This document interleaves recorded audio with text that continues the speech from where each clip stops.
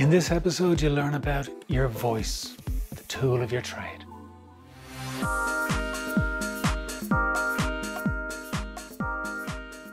I'm Keith, and in this series of online tutorials to help media professionals, including directors, editors, and videographers, to be able to deliver audio on a professional level.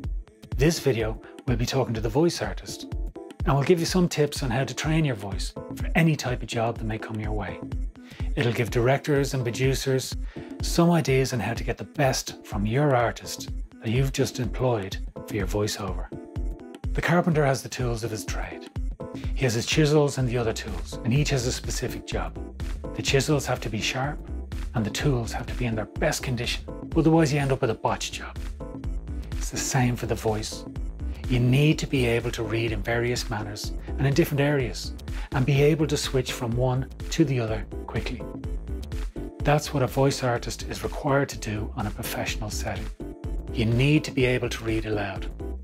Practice reading all sorts technical brochures, Seamus Heaney, Shakespeare, kids' books, even some Dr. Seuss for those fabulous tongue twisters, but all out loud.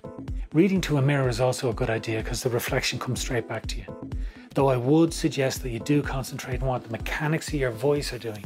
It's called being proprioceptive, being aware of what your body is doing in space and how each part of that plays in that space. Record and listen back to what you read. Listen to how you read the phrases. Can you hit a different word in the sentence to change the emphasis? Play with what you're reading. Changing the emphasis of any sentence structure can change the meaning of the whole message. Listen to the rhythm of what you're reading, the rhythm structure of the sentence. Can you pick out a tempo from that rhythm of what you're reading?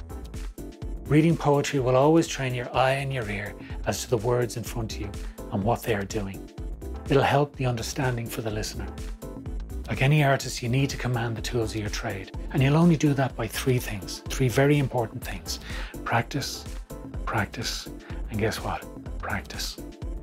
Warm the pipes before doing any sort of job. Exercise the throat, the jaw muscles, the tongue. And after practicing the previous tips, you should have a routine that works for you.